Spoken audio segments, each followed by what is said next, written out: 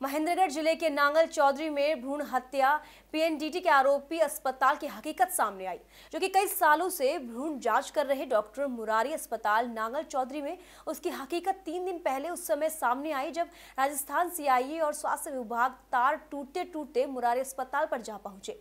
Team को देखकर आरोपी डॉक्टर के गुर्गो ने टीम पर जानलेवा हमला कर दिया।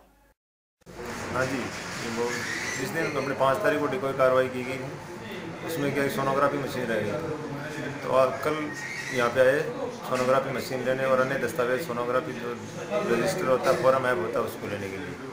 तो कल यहाँ पे ताड़े लगे हुए मिले थे।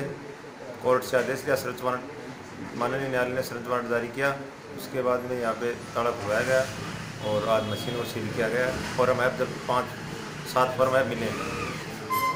और संदिग्ध सर मशीन टूटी हुई मिली आज।